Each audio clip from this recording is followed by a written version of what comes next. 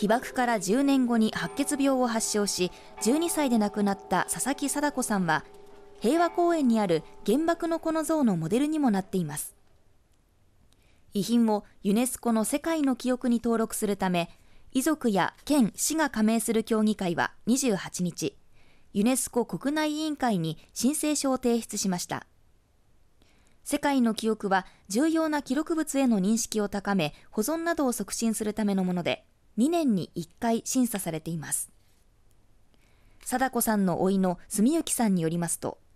申請したのは貞子コレクションと題された折り鶴101話のほか血液検査の結果を記した貞子さんの手書きのメモなど9種類の遺品だということです。